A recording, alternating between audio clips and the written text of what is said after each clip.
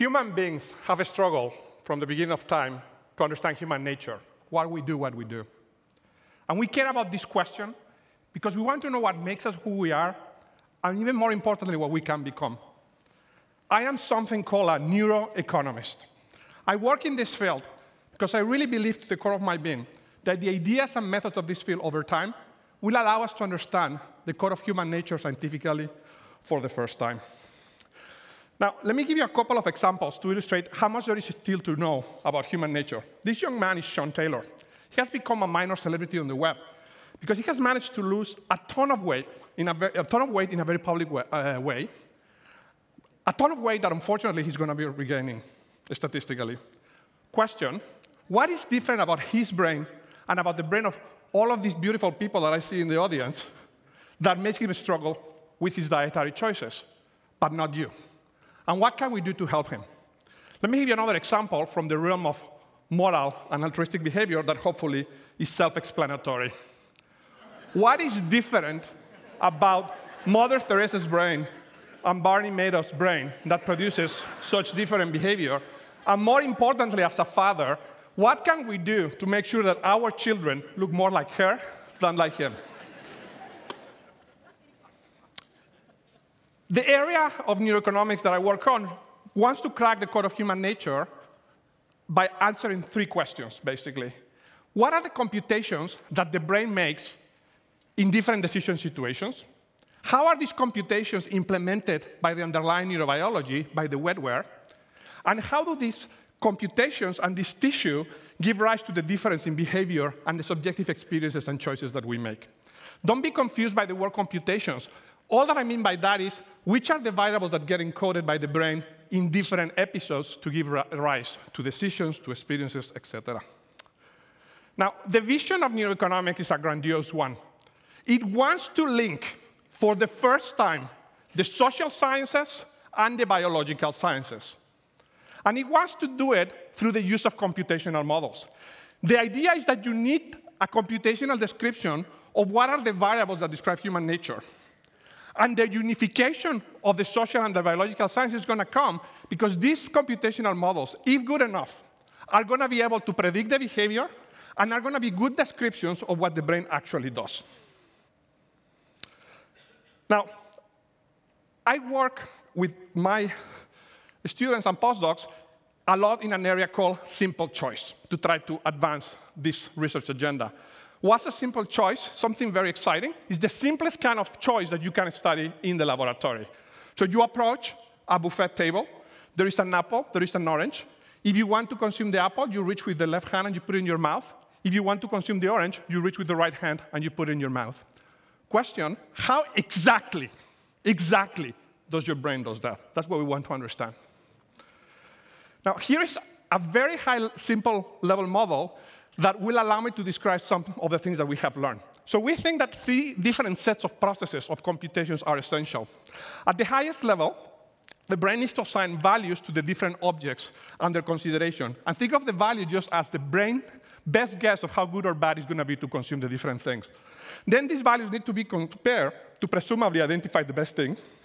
And once a choice is made, a motor action, for example, moving the right hand, needs to be deployed to implement the choice. Let me tell you a little bit about what we have learned about these processes. So first, valuation. Here's a very basic question. Is there an area of your brain that at the time you're making choices, systematically, systematically encodes the value of this stimuli for the purpose of guiding choices? In other words, is there an area of the brain that when your wife complains about your behavior, you can say, honey, that area of my brain made me do it? okay? We have done a ton of fMRI experiments trying to understand this, and the bottom line is yes, yes, there is an excuse for your wife. There is an area called the ventromedial prefrontal cortex, which is about an inch between your behind your midbrow, which it doesn't matter what type of decision you're making, food choices, charity choices, gambling choices, always seem to respond proportionally to the value of the stimuli. And not only that, we know from myriad other experiments carried by other scientists, by other groups, that this area plays a causal role in choice. If you lesion this area, you lose the ability to make good choices. Now, let me tell you a little bit about the comparison process. how does the brain compare these values? And at that point, the eager and the gravis on the top are probably say, wait, Professor Rangel, that one is an easy one. I know. Just pick the best one. And I want to tell you that fortunately, things are a little bit more interesting than that. Okay? So if you think that that's what's happening, I'm going to put physical comedy to the use of science.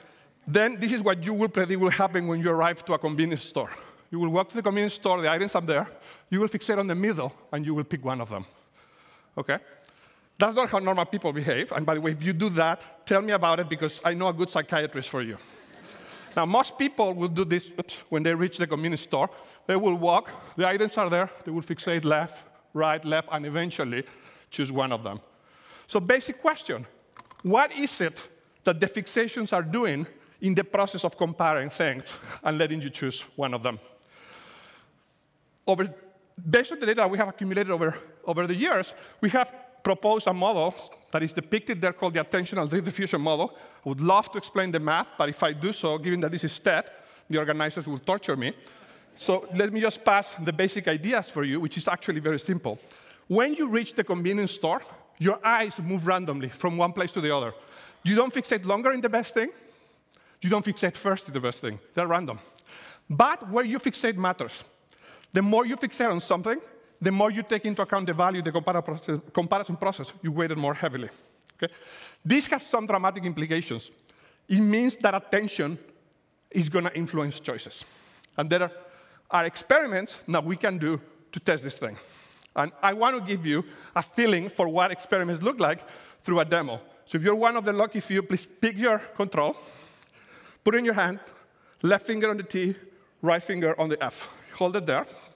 Now, I'm going to show you a picture, a video, that is going to show you two all-American foods, one on the left, one on the right.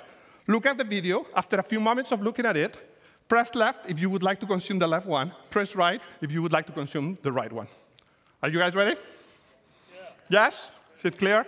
Okay, please watch the screen like a hawk, because here it's coming. The experiment is coming. Watch like a hawk and be patient. I tell you, they were all American goods.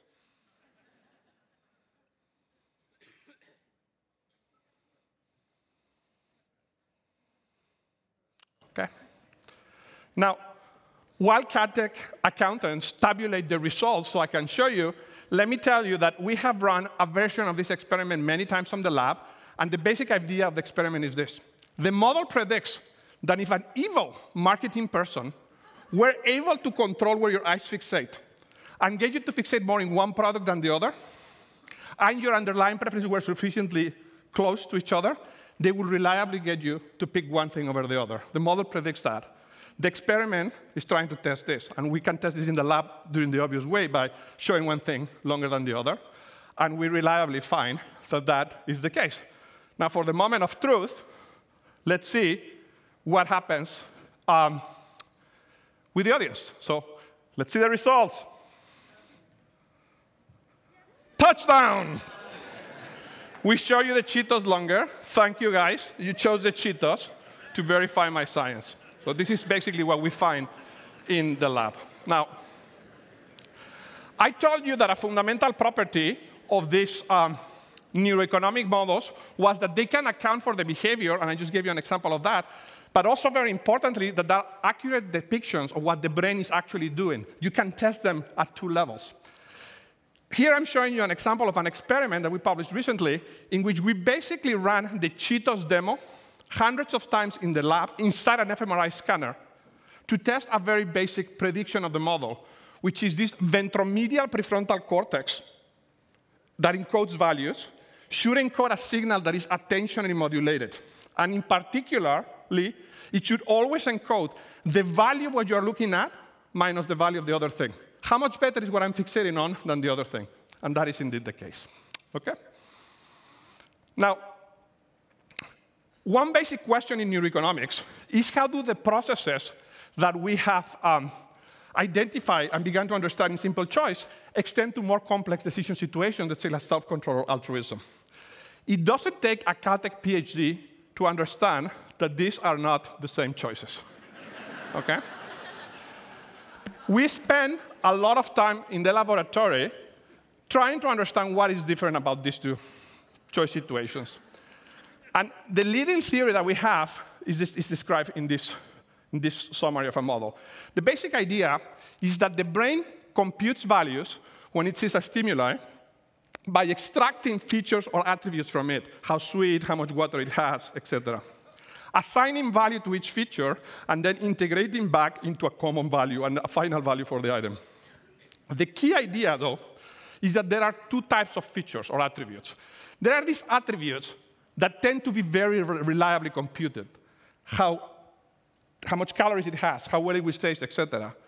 Those are always there. They're always counted. But there are also attributes that are a little bit more abstract, like health, like long-term income, like future consequences, that require an extra amount of cognitive effort for them to be represented by the brain and show up there. And self-control requires both of them to be counted properly. When these more abstract things are not represented, they don't get counted, and we become myopic. That's the idea. We have tested this in a number of ways, but one of my favorite ones was an experiment in which we bring good and bad dieters to the laboratory. We ask them to make food choices inside the scanner, and we see whether the theory has merit. And this is the bottom line of what we find. Both good and bad dieters encode, make choices based on the value that gets encoded in the ventromedial prefrontal cortex. That drives the decision. But there is a fundamental difference between good and bad dieters. In bad dieters, the ventromedial prefrontal cortex only cares about the taste of the foods. That's the only information that gets represented. In good dieters, another area of the brain, in an area called the dorsolateral prefrontal cortex, on the left, around the temple here, comes online, sends information to the ventromedial prefrontal cortex to make sure that health attributes are also represented. And therefore, the value signals represent health and taste and get shown in the behavior. Now, I hope that this gives you a taste for the work that is being done in neuroeconomics at Caltech and around the world. I want to tell you that I feel very lucky to live in an era and to work in a place like Caltech where these questions are being studied. Thank you very much.